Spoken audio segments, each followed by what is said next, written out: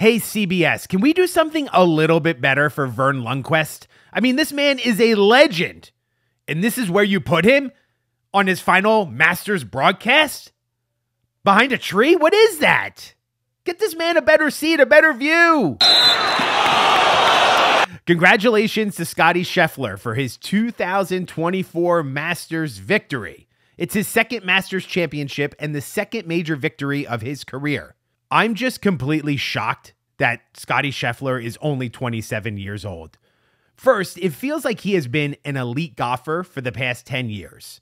And second, he is one of those rare breed of people who has looked like he has been 40 years old his entire life. Kind of like the enforcer Arn Anderson. Arn Anderson in 1985, Arn Anderson in 1995. Somehow both 40 years old. A lot of weirdness coming out of the final round with Tiger Woods and Neal Shipley.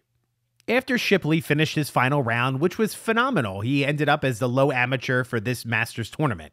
He was asked by a reporter around something that on the eighth fairway that Tiger Woods wrote down and handed to Shipley. The interaction went like this Question I saw on eight fairway he wrote something and handed you a note. What was that about? Shipley. He didn't.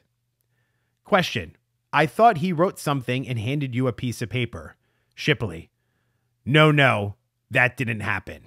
End press conference. Okay, that was awkward. To make this situation even weirder is that there's not one photo, there's not one screen grab, no video of this paper being handed to Shipley. What is going on here? How is that possible? Did it even happen? I who knows what's going on? Every year when the Masters comes around, there is one thing I can never stop thinking about, and that is the demise of Jordan Spieth. People forget what a 2015 he had. He won the Masters, he won the US Open, he was fourth in the Open, and then second in the PGA. One of the most historic years in the history of professional golf. But then he entered the 2016 Masters, the final round. He's up five strokes going into the back nine. And you may remember it went bogey, bogey, quadruple bogey after hitting two balls into the water at the par 3 12th hole. He was never the same. Outside of winning the 2017 Open Championship, his career kind of died on that back nine of Augusta.